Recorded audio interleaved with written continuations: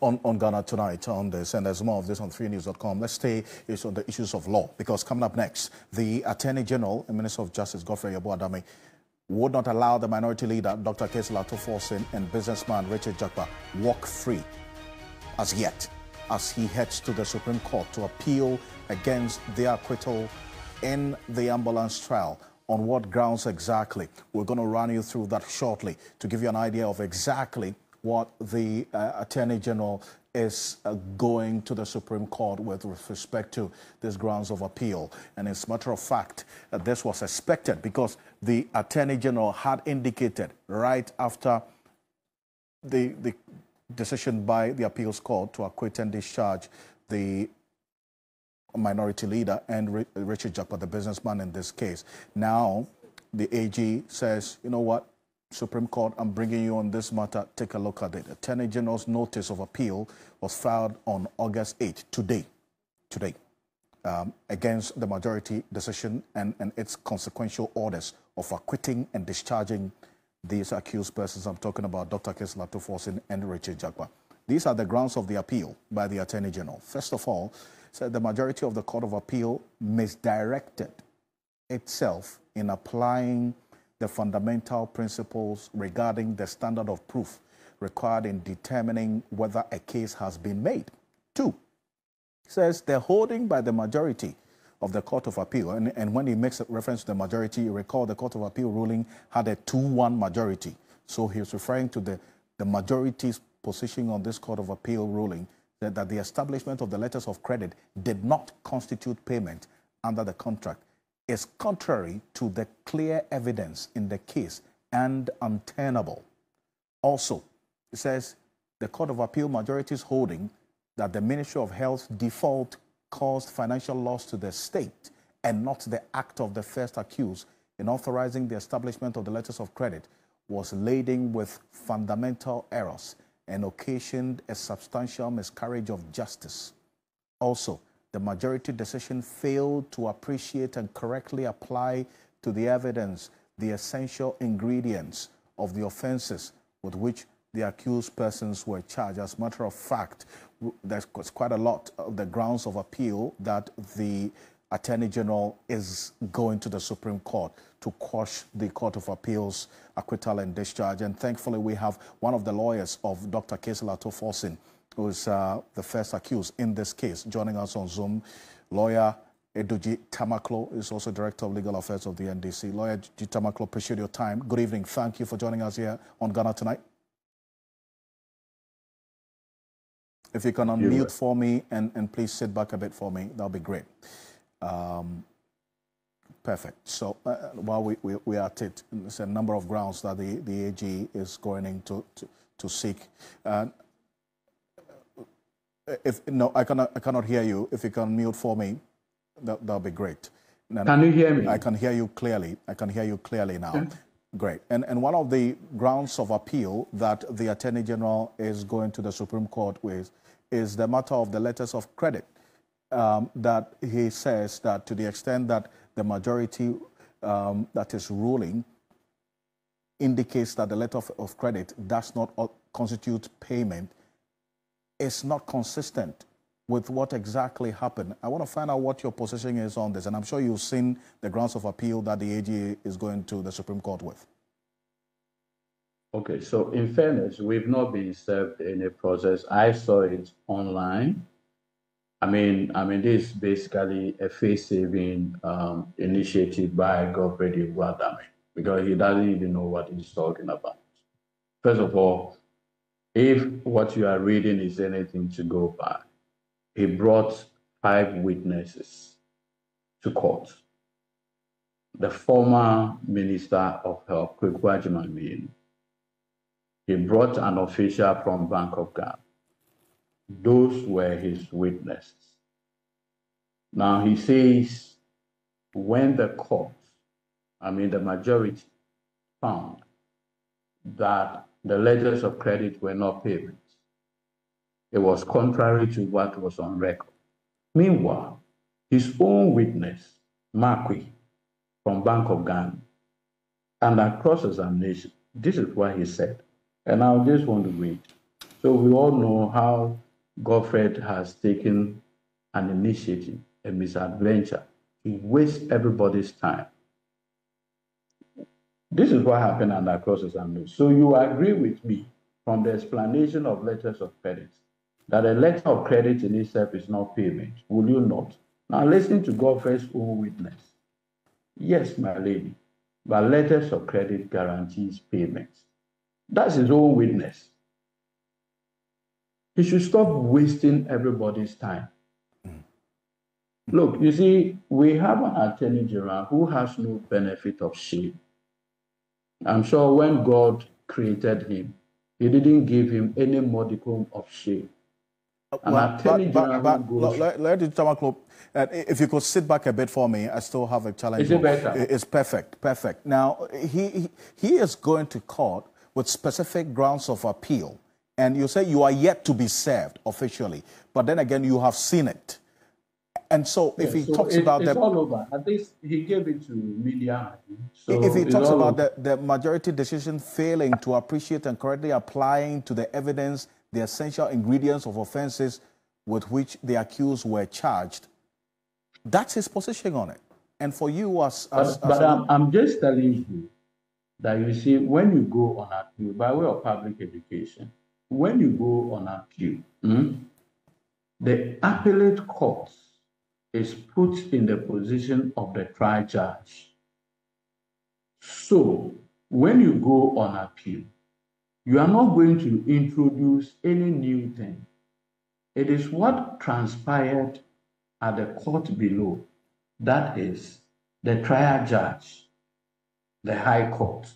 That's what you are carrying to the Supreme Court.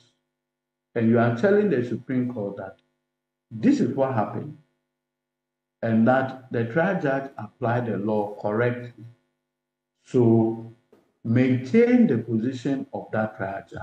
And I'm saying that the attorney general brought five witnesses to court. The five witnesses that he brought to court, they were subjected to cross examination. He brought an official from Bank of Ghana. Under cross examination, it was put to him that you would agree with me from the explanation of letters of credit that letters of credit itself is not payment. And the man says, Yes, my lady. So now that you are the Supreme Court, are you going to change this answer there? Look, let nobody waste our precious time. Godfred Yeboah-Dame had his day. He blew it and let him face the consequence of it. I see. Well, I, pers- I personally do not even want to waste my time on this matter. He has decided to appeal it. It is within his rights. Let him go ahead. We have always maintained that the Honorable Cassiel Ato is innocent. And I have always said, and with my knowledge of the law, that let no Ghanaian ever, ever be taken through such persecution in the name of criminal trial.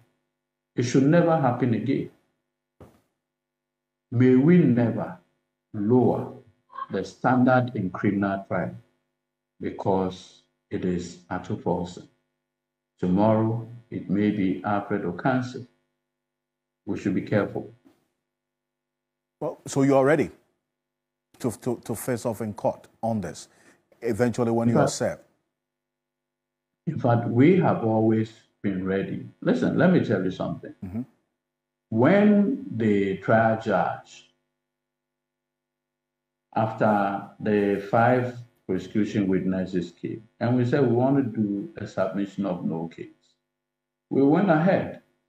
When the trial judge said she disagreed with us and that we should open our defense, we filed a notice, um, um, the notice of appeal in respect of the ruling on the submission of no case. And we took the extraordinary step in opening our defense. Look, the Honorable Ato Forson has nothing, absolutely nothing to hide. He called these witnesses and told the court, I've close my defense. That is what it is. Until when Richard Jakpa came, opened his defense, then we began hearing that whilst we were in courts doing law, Mr. Godfred Yeboah-Dame was in the house of the Supreme Court judge seeking his help to convince the Supreme Court judge's cousin, Richard Jakpa, to implicate the Honorable Cassiel Ato-Forson. But like I've always maintained, Ato-Forson never dealt with Richard Jakpa. So on what basis were you even going to him to seek his help? On 25th day of March, at about 10.55 p.m., just around this time, a justice of the Supreme Court called Richard Japa and gave the phone to Godfred Yeboah-Dame to speak to him. Does Godfred remember the things he discussed with Richard Jakpa? Does he? This attorney general has no shame, absolutely no shame. Well, in fact, if he has any modicum of shame, he should even be resigning from that office. Look. Well, he, is not resigning. hold on. No, oh, oh, or, or Alfred say, I, I beg your pardon. yes. I, I, I have seen Obed Asamoah as Attorney General. Okay. I saw Nana Addo Dankwa Akufo-Addo as Attorney General. I saw Martin Amidu as Deputy AG. I saw Madam Betty Mould. I saw no other person but Marietta at your home. I saw my own boss, the Honorable Dr. Dominic Akuritinga, as deputy. I have never seen an attorney general lower this esteemed constitutional office to this low that I've seen Godfrey Damidas. Well, he, he, is he's getting ready. He's, he's appealing this ruling. He's ready to meet you at the Supreme Court. You're saying you're ready to meet him He's gone to the Supreme Court to, to as it were, seek to overturn the ruling by the Court of Appeals, which set your client temporarily free, you know, you know, you know, you know, discharge. These are know. the reliefs. Uh, Mr. McClure, these are the reliefs. Very briefly, and in a minute, mm. and we'll have to end this. These are the reliefs that is seeking that the decision and consequential order of the Court of Appeal, dated the 30th of July 2024, acquitting and discharging the accused appellant respondents, be set aside and also that your client and, and also Richard Jakpa be ordered to continue with their defense at the trial high court. Those are the reliefs he's seeking. I just pointed out to you, these are safe saving. He just wants to save his face. He's deeply embarrassed. And you see, the unfortunate thing is that you see, an attorney general should not be emotionally involved in a trial. Because you see, the high office of the attorney general, remember that of all the ministers, the only one that is specifically mentioned in the 1992 Constitution by reason of Article 88 is that revered office. At least we just got emotionally uh, hampered uh, well, person to be there. And, and like I always say, you see, Chinua Achebe said something. Okay. He said, Those who palm kernel have been cracked for right. them by the spirits must learn to be humble.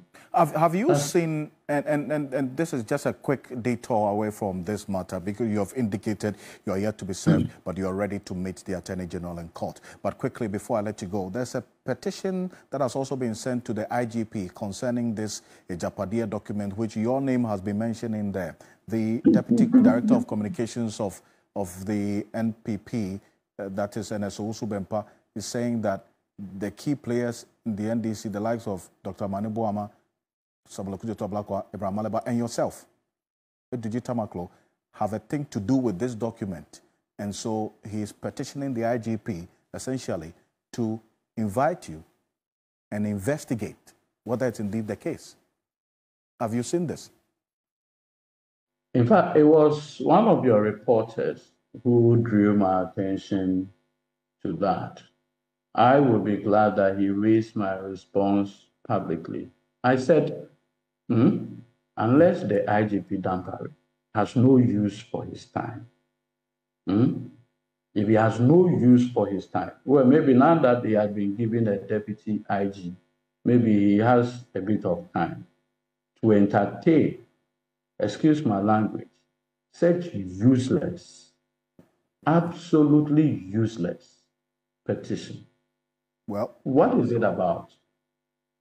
Mr. Akufo-Addo had decided hmm, to generate for himself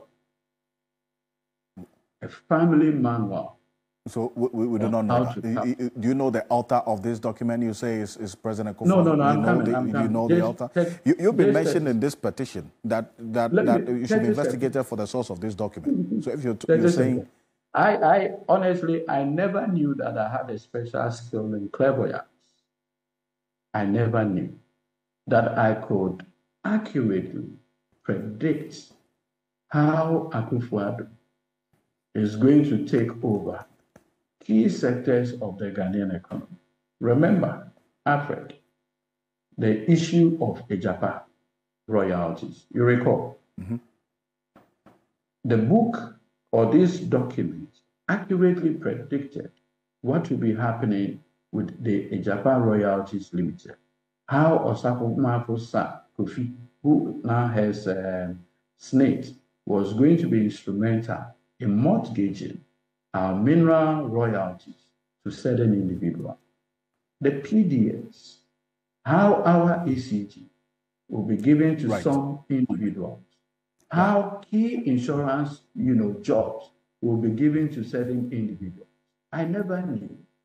I had this special talent of clairvoyance, accurately predicting how Akufo-Addo is going to govern or misgovern. I never knew I had those special skills. So okay. again, like I pointed out, again, like I pointed out, the IGP now has a lot of uh, time on his hand. Now that he has a deputy in charge of. We'll, we'll see. So he can entertain such a useless well, well we'll, see. So far, we haven't gotten any response from the IGP on this petition, on this Agyapadie document as yet. But I thank you. Thank you so much for making the time indeed to join us. Uh, thank you, so always. Godwin Edudzi Tamakloe is a private legal practitioner. He's a, one of the lawyers for Dr. Cassiel Ato Forson, the minority leader in this ambulance purchase case, in which the Attorney General has indicated, in fact, eventually now gone to the Supreme Court to appeal the ruling by the appeals court, acquitting and discharging Dr. Cassiel Ato Forson and Richard Jakpa. We'll see how things play out on that front as well. But coming up next here on Ghana Tonight, another disappointing moment for renal patients in Accra who now have to find alternative means of getting dialysis because the renal unit at the Korle Bu Teaching Hospital has been shut down again. And as a matter of fact, we got to know today that it's been shut down for the past two weeks. That's the information that we, we got today. And this renal unit at the Teaching Hospital it's, it's been, it's been closed down for all of this while. We'll be joined shortly after this quick break by the leader of the Renal Patients Network. Are persons living with kidney diseases to tell us exactly what the picture looks like. Stay with us after this quick break.